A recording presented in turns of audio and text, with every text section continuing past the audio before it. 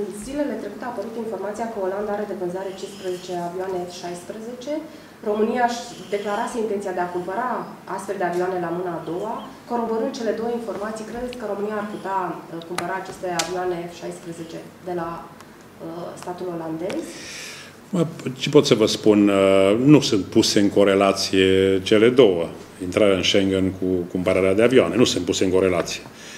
Uh, la această oră este o ofertă cu siguranță vor fi... A fost făcută oficial cu, cu, cu, siguranță, cu, siguranță, cu siguranță vor fi mai multe oferte.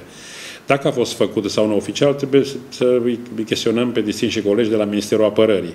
Aici la noi n-a venit oferta, dar sigur, acolo trebuie să meargă oferta Uh, în materie de avioane. Ministerul de achiziționarea din Olanda acestor... Nu sunt corelate în înțelesul că nu depind una de cealaltă. În acest sens am spus. Uh, am luat un sens. Ați făcut totuși legătura. Să-mi spuneți că nu sunt corelate. Păi, dumneavoastră ați făcut. Eu am evocat RCV-ul și dumneavoastră mi-ați spus problema avioanelor. Dumneavoastră ați spus, ați spus imediat problema și am spus că ele nu sunt, să fiu atunci mai limpede, ele nu sunt legate una de alta. MC, MC, MC, MCV-ul, MCV-ul și Schengen-ul sunt un track, sunt o, o linie de evoluție, dacă vrem. Uh, cumpărarea de avioane este o altă chestiune, dar nu sunt, nu sunt, nu sunt condiționate una de cealaltă.